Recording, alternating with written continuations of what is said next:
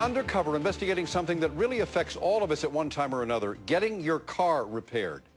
This time, investigator Joel Grover has uncovered a new scheme that's never before been caught on tape until now.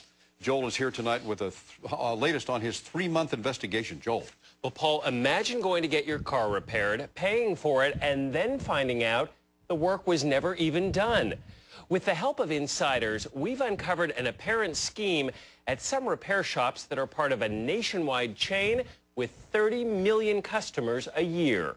40, 60, 80, 100. We shelled out a lot of cash 300 bucks. at repair shops across town. 20, 40, and 5. But were the repairs we paid for really done? Listen to this former insider. Does this happen to customers a lot? Every day. Customers of America's biggest lube and tune chain, Jiffy Lube.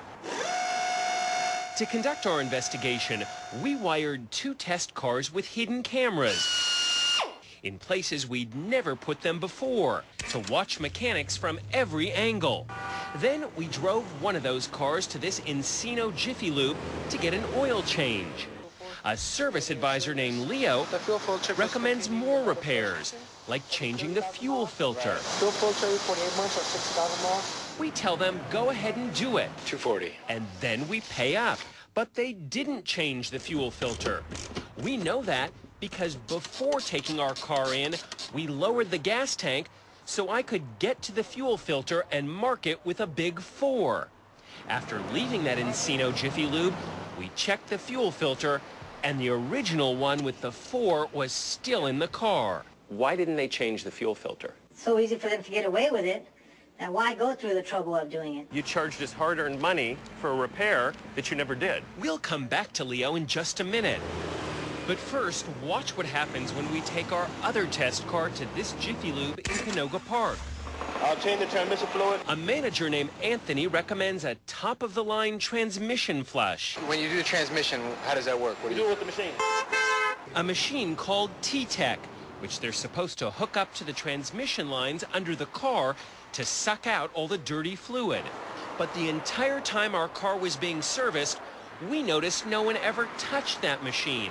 And our hidden camera shows no one ever touched the transmission lines underneath. But they charged us for the T-Tech service anyway. It happened to us again at Jiffy Lube in Glendale It sucks all the fluid out. and in Sherman Oaks It's called the T-Tech service. and in Burbank. And you guys did this T-Tech thing Yeah. too. Cool. We got stiffed at five out of nine Jiffy Lubes we tested, and no one would explain why. Hi, Leo.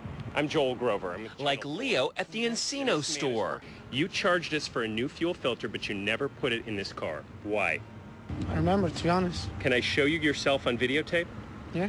But he remembered Okay. Fuel filter, 48 months or 60,000 miles. when he saw himself on tape, How do you explain this? I don't know, to be honest. and he rushed away Were you trying to make an easy buck off us? No. to call his district manager. Channel 4's right here. Well, they caught us on camera. They didn't change the fuel filter on our Jeep. And what would Anthony say Or how are you? at the Canoga Park Jiffy Lube? There was a camera in here watching you the whole time. You charged us for a transmission service that you never did. Why? Sir, sir, like I said, you, you would have to um, talk to my district manager. So we tracked down the district manager, Stephen Ayub, Yeah, are you Steve Ayub? No, I'm not. who denied his identity. Are you the district manager? No, I'm not. He tells us he's just a customer. My name's Alex. Alex, which is your car? That one, Which one? the red one. But that red car That's your red Camaro back there? Yeah, what's going on with it? belonged to another customer, and the district manager was lying to us. I think you're the district manager. I'd like for you to turn off the camera, and I'd appreciate it. Well, Jiffy Lube confirmed to us in this email that was the district manager. Now, they wouldn't speak with us on camera, but in a statement, they told us they take KNBC's allegations seriously, will investigate this matter fully, and take appropriate actions to prevent further occurrences. And they promised to refund us all the money for all those repairs that were never done.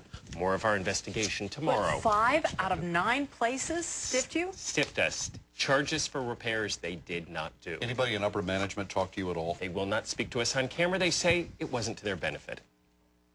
Okay.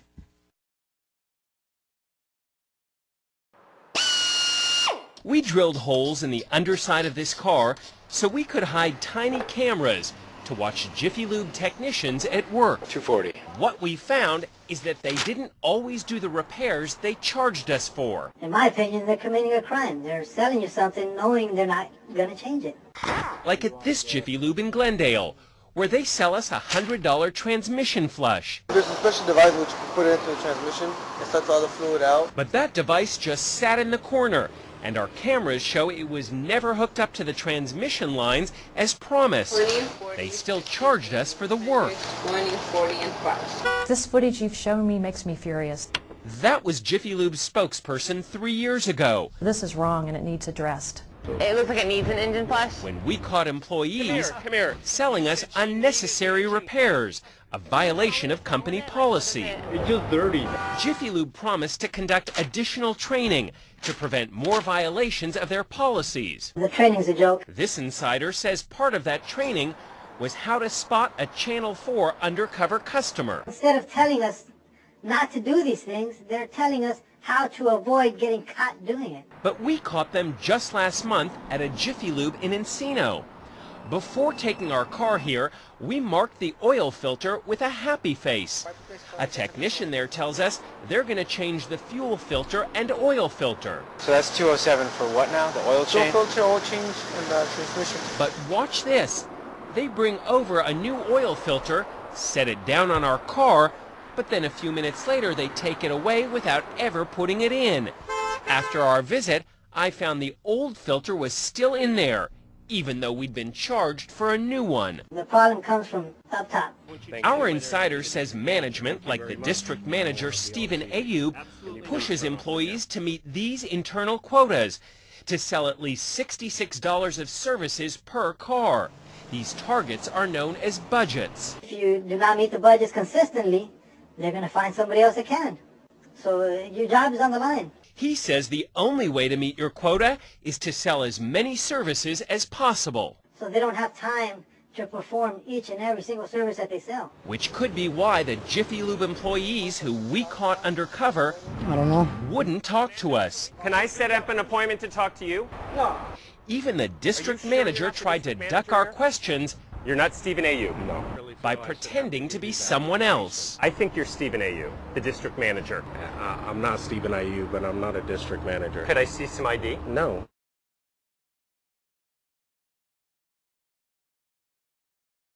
Tonight, we've learned that America's biggest name in car repair is making sweeping changes and that it's in direct response to Joel Grover's investigation, Is Your Mechanic Cheating? Joel is here right now with some new developments. Joel. Well, Colleen, it was just three weeks ago that we uncovered a scheme at local Jiffy Lube stores where customers were charged for repairs that were never even done.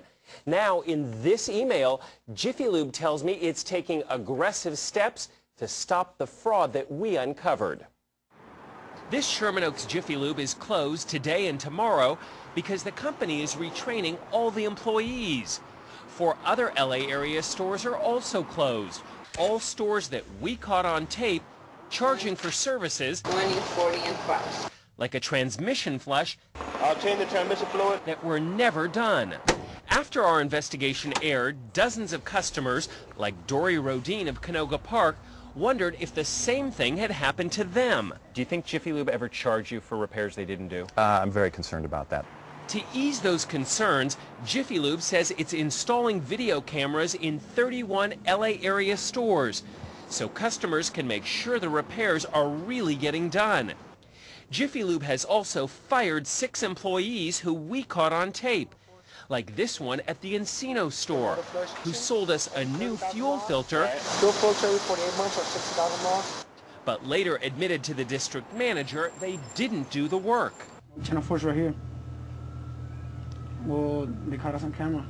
Also gone is the district manager, Stephen Ayub, Are you the district manager? No, I'm not.